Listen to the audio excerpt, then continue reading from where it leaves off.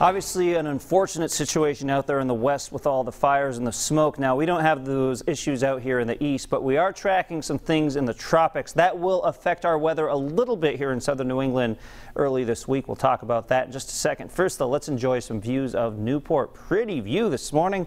Notice a little bit of sun trying to get through the clouds there we'll have a few more clouds around compared to the sunny skies that we had yesterday. And this is a look at Narragansett Town Beach where temperatures right now running in the 50s. Now we will be looking at some rough surf, some high surf, especially as we head into Tuesday because of the tropics. So let's get into that discussion right now.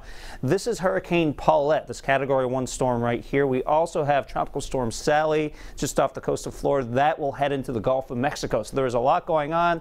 We have more storms there to talk about, but really I don't want to get too much into that right now. Let's just focus on the two in this weather forecast because so much to talk about, so little time, right? This is Hurricane Paulette. Now, this little speck here that's actually Bermuda. So unfortunately for Bermuda, they have hurricane warnings later on tonight into tomorrow. This storm likely does pass right over Bermuda or at least get very close. Obviously a serious situation here. Now, in terms of our concerns here in southern New England, notice what happens. The storm ends up pushing away as high pressure at the surface will sort of push that storm out to sea. So that is good news for us. However, the storm does get close enough, especially Monday into Tuesday right here, to propagate some of that wave energy towards southern New England. So that's why we will be looking at the potential some dangerous rip currents as we head from the beginning to the middle part of this week. So just be mindful of that. We'll keep you updated on those water conditions. Speaking of water, let's now go down to the Gulf of Mexico where we're tracking Tropical Storm Sally. Now, Sally will likely strengthen as it continues to move to the northwest into the Gulf of Mexico. It may end up as a Category 1 or 2 at landfall along the Gulf Coast later on this week. And here's the issue with this storm. Obviously, there is always a concern with storm surge and wind, but look at how slow this thing is. You can see this is Tuesday morning, Tuesday afternoon, not a lot of movement.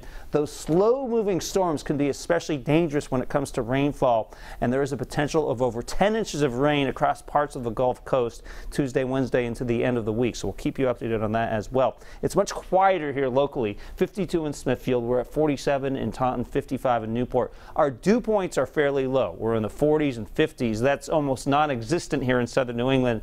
These dew points will be ticking up a little bit today into the 60s, so you will notice a slightly more muggy feel to the atmosphere later on today.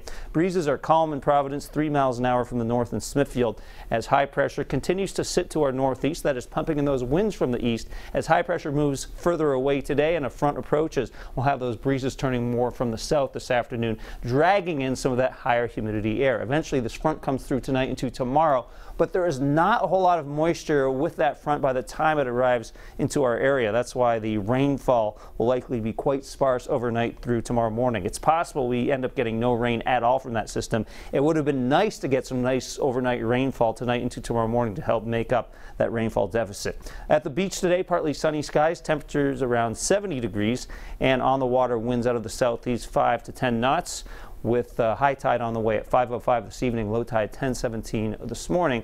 Temperatures will be running in the mid, maybe some upper 70s inland today. Along the coast, will be in the low 70s with those breezes turning from the south. So not a bad day to spend outside. And notice this evening, not quite as cold as the past several nights. Midnight, we're into the 60s instead of the 40s and 50s like we're seeing right now. And then you can see those evening temperatures kind of staying steady with the higher humidity and the clouds around tonight.